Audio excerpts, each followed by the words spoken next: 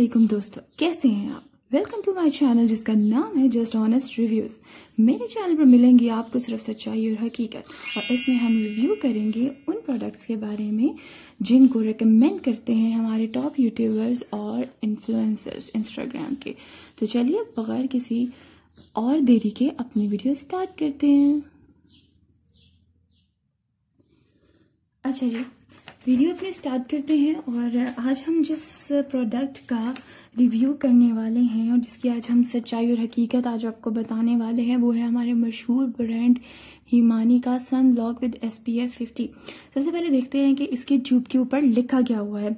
सबसे पहले तो जो बड़ा सा फिफ्टी नज़र आ रहा है, यही मौजूद है कि इसका जो एस पी एफ़ है, वो फिफ्टी है, यानी कि सन प्रोटेक्टिंग फैक्टर जो है, इसका वो फिफ्टी है इसके अलावा ये क्रीम सन ब्लॉक है। ये देखिए यहाँ लिखा हुआ है क्रीम सन ब्लॉक अगर ये फोकस करे तो हम्म, ये देखिए। क्रीम सन ब्लॉक है फिफ्टी एम इसकी क्वांटिटी है और ये प्रोटेक्शन प्रोवाइड करता है against UV A and UV B lights rays ये मैं आपको बाद में आगे जाके बताऊँगी कि ये क्या होता है। इसके अलावा ये लाइटन करता है कॉम्प्लेक्शन को। ये यहाँ पर सारी इसकी जो है ना डिस्क्रिप्शन दी गई है। और ऑल स्किन टाइप्स के लिए है ये, और मेड इन टर्की है। यहाँ पर ये लिखा हुआ है मेड इन टर्की जैसे कि आप देख रहे हैं।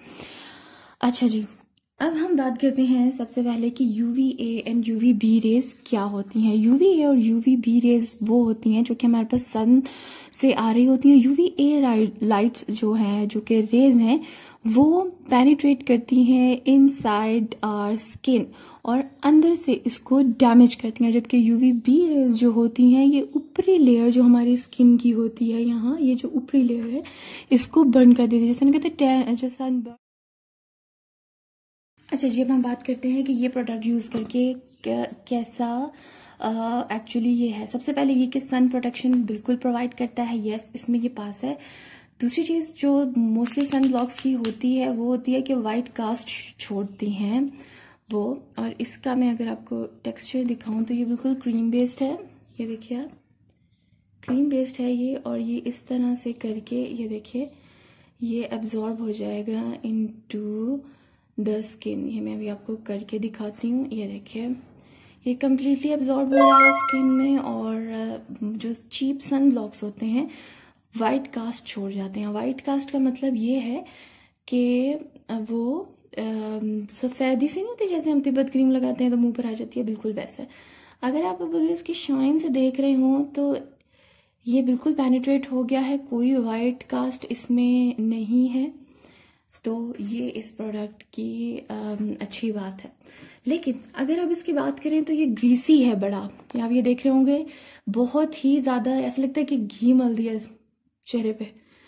तो ये जो है बिल्कुल ग्रीसी है। आई डोंट नो ये हमारी स्किन टाइप्स के लिए नहीं है। एशियन स्किन टाइप्स के लिए। और क्योंकि हमें पहले ही बहुत पसीना होता है, ओपन पोर्स आते हैं ऑयली स्किन हुई होती है समझ में तो ये बिल्कुल भी नहीं सूट करता। इसके अलावा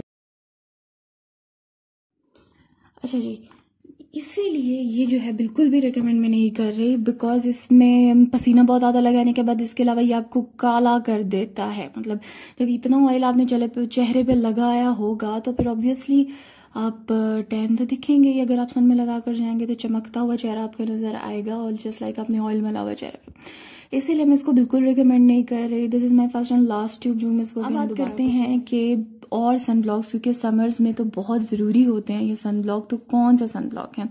अगर आपकी प्राइस रेंज अच्छी है तो आप बायोडर्मा का टिंटेड लें, मैं भी ये पिक्चर लगा दूँगी इसकी, ये देखें।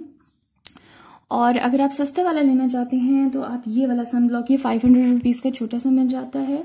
और ये भी बहुत अच्छा है वाइट कास्ट नहीं है और स्किन को भी बहुत अच्छा करता है। तो ये दो रिकमेंडेशन हैं हमारे सन ब्लॉक के लिए महँगा वाला और सस्त मतलब जो बजट में भी है और क्वालिटी में भी अच्छा है प्रोटेक्शन भी प्रोवाइड करता है और इस तरह का ग्रीसी इफ़ेक्ट भी नहीं देता।